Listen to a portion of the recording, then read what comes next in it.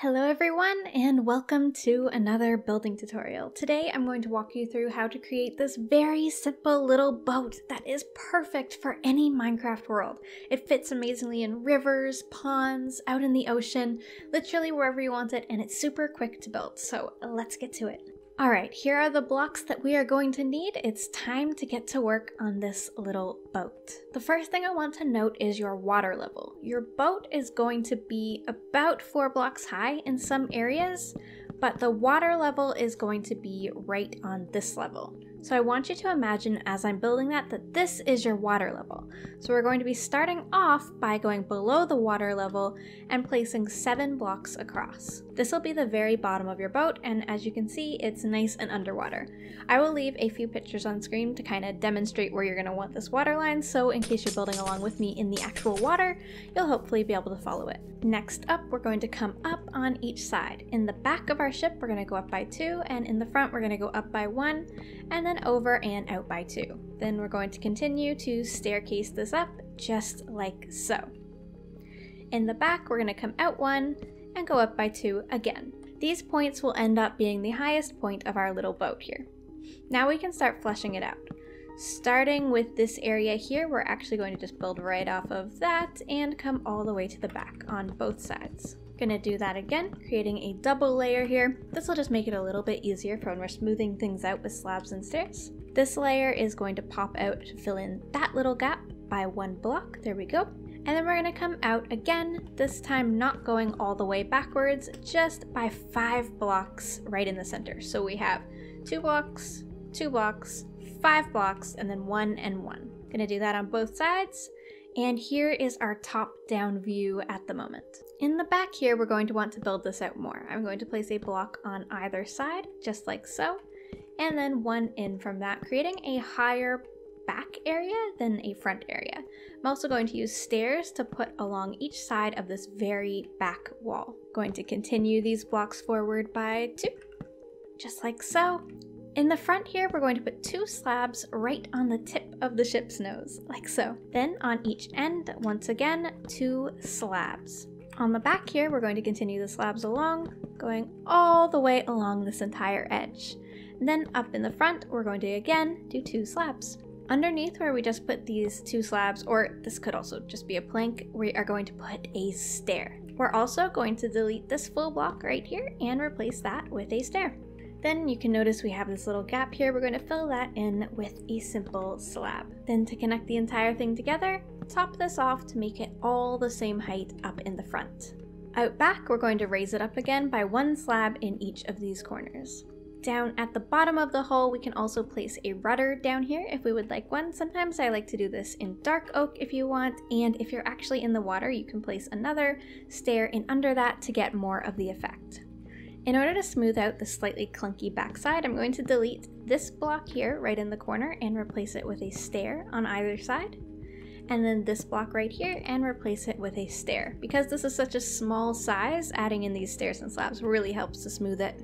Once again, to help with that smoothing, I'm going to come to the kind of near the center here of these four blocks that I have with stairs on either side, and I'm going to place two slabs. Then right below that, I'm going to place three steps. I'll do that on either side, and that is just to give this a little bit better of a curve. Now that this is done, we can fill in the center of our ship, just to give us a nice floor to walk around on. If you're curious, this is the top-down view of the ship now. At this point, I'm going to take my oak log, or whatever block you have chosen, and go to the back to start creating the first part of my sail. Two blocks from the back, I'm going to build this up. I went 10 blocks high for mine. And then in the front, once again, we're just going to build this one up by four. We're going to connect these two logs together by staircasing some stairs as sort of makeshift ropes between them. On the inside, we're going to bring these fences all the way down. Now it's time to begin on the sail. Don't worry if your blocks aren't in the exact same place that mine are in this process. This is a pretty organic shape and it's very forgiving. It may be hard to follow along block by block for this part because I'm going to be breaking and destroying a lot, but I'll do my best to describe what I'm doing. I'm going to start on this longer pillar here and just sort of build up a general nice shape all the way to the top of that fence. Then I'm going to kind of create my inner area here by staircasing that down just above that fence pattern that I had put before. I'm going to bring this all the way down past this first log, and I'm going to actually connect it over here to the front of my ship by placing one backwards. Just like so.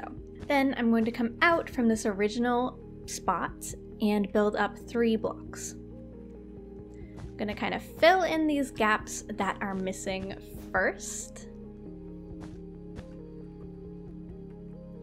And then put that one, just for good measure. And I'm going to come out again to make it really look like it's nice and curvy and catching the wind, and do another set. For this one, to make it curve in and connect better, I'll do this bottom block in one.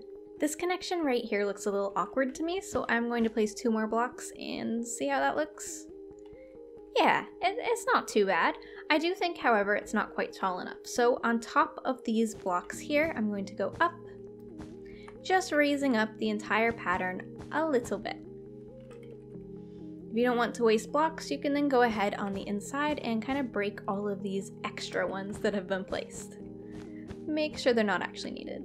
I want this to wrap around to the back side and connect here as well. So I'm going to place some stairs on top of this back of the ship and kind of try and curve my sail over this area.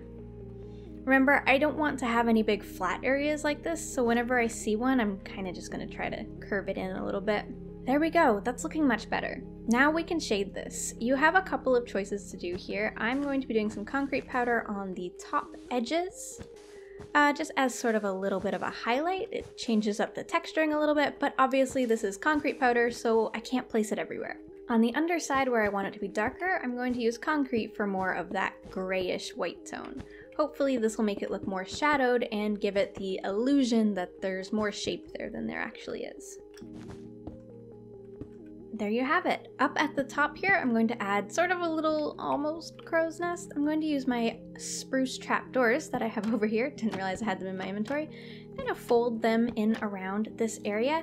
And then if you wanted, you could put a flag on top, but for me, that makes it a little bit on the busy side, so I'm going to be leaving mine exactly like that. Back here is where you're going to want your steering wheel to be. You can do this with armor stands, or if you don't have the any armor stands available, a trapdoor also works just fine. We are also going to want to continue our fencing along here to make it look like it's generally connected together. There we go, that's much better. Maybe we could also raise some of this up just, just to kind of match what's going on, you know?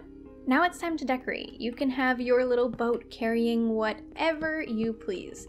I'm going to use some barrels and maybe a cartography table, and that should probably do it. There's also a little bit of space down below if you wanted to hide something down here. Maybe do like a secret door with those trap doors that make you crawl. That could be really fun. Yeah, look at this. oh my gosh. And once again, let me remind you, the water level that I imagine on a ship like this is about right here. So if you've built this in actual water, it'll look something like this. Anyways guys, that is it from me. I hope you've enjoyed this tutorial and gotten some use out of it. Definitely show me your builds when you finish them. I cannot wait to see you add this little ship asset to all of your lovely builds. Thank you so much for watching and supporting the channel. I hope I'll see you in the next video. Goodbye everyone!